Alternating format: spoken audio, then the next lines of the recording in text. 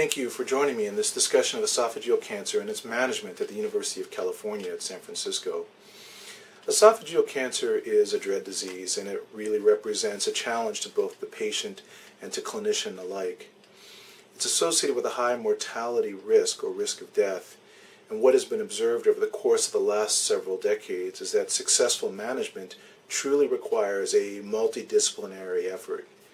And by this multidisciplinary effort, what I mean is that a group of physicians from specialties such as surgery and medical oncology and radiation oncology, in conjunction with nurses and allied health professionals, form a team pulling with the patient to give us the best chance for long-term cure of the disease.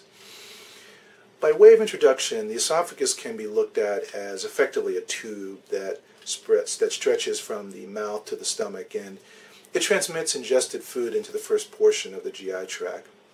This long tube is lined with a set of epithelial cells, which is a sort of a coating of cells on the inner surface. And under certain circumstances, those cells can become cancerous and develop into tumors that can obstruct the lumen or the interior of that tube and then make swallowing very difficult. There are several risk factors for esophageal cancer, although many patients have no risk factor whatsoever. Those risk factors include a diet that's low in vegetables and fruits, uh, obesity, smoking, a history of alcohol abuse, and chronic gastroesophageal reflux disease and heartburn.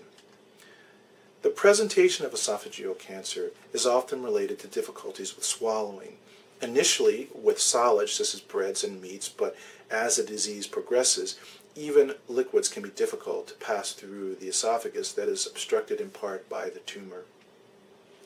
Unfortunately, esophageal cancer has a tendency to present very late.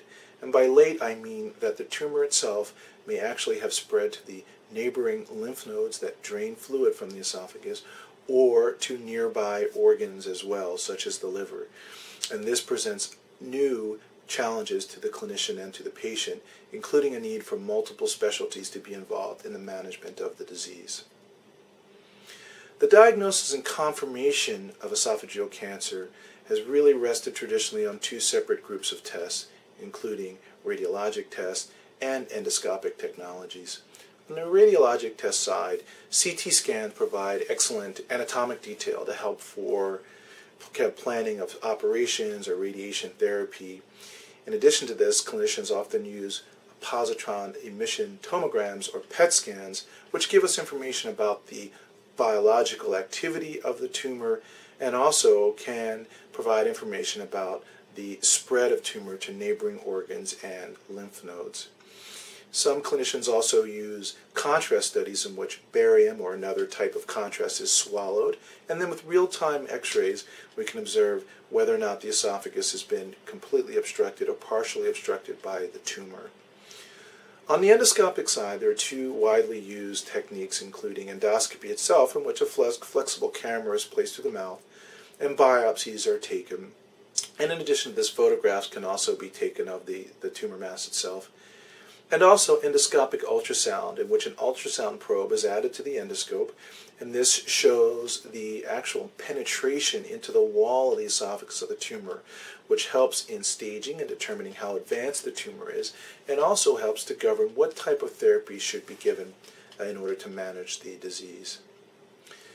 The therapeutic options and the treatment for esophageal cancer have evolved quite significantly over the course of the last several years. Most notably is that the risk of mortality from the treatment has dropped quite significantly over the course of the last several decades. And so too has the morbidity or the risk of a side effect or a complication of treatment has dipped and got, continued to become uh, less, less uh, grave over the course of the last several decades. However, the broad array of different types of treatment technologies for esophageal cancer can really be boiled down into four groups. Uh, surgical, radiation oncology, medical oncology, and then what you might call palliative or stent-based technologies.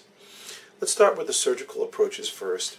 There are several different techniques that have been described over the years in order to remove an esophagus and the associated lymph nodes. What appears to be the case is that the more extensive lymph node dissections are associated with generally better long-term outcome with esophageal cancer.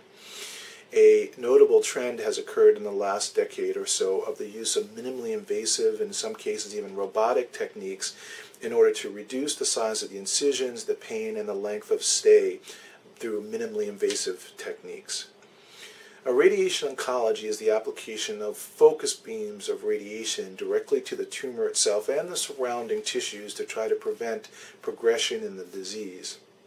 Chemotherapy is the deliverance of uh, medicines generally through the intravenous route that are capable of destroying specifically tumor cells. Some of these agents are known as targeted agents in which effectively antibodies directed against the tumor or some element of the tumor uh, lead to the death directly of the cell.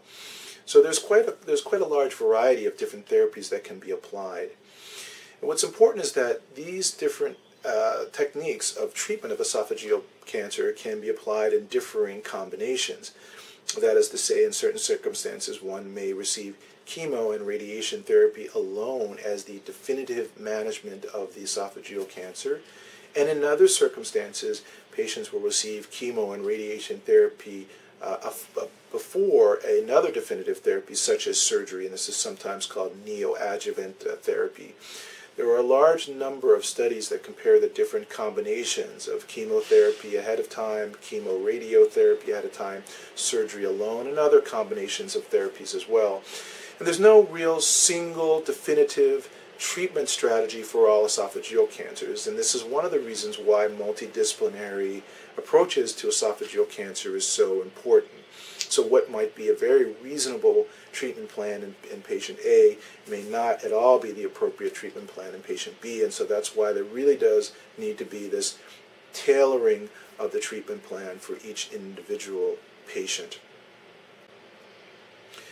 Endoscopic technologies for managing tumors also include stent placement, and stents can be used in order to prevent the progression of the obstruction of the lumen of the esophagus such that patients can continue to nourish themselves up until the point that definitive management of the, of the tumor can occur.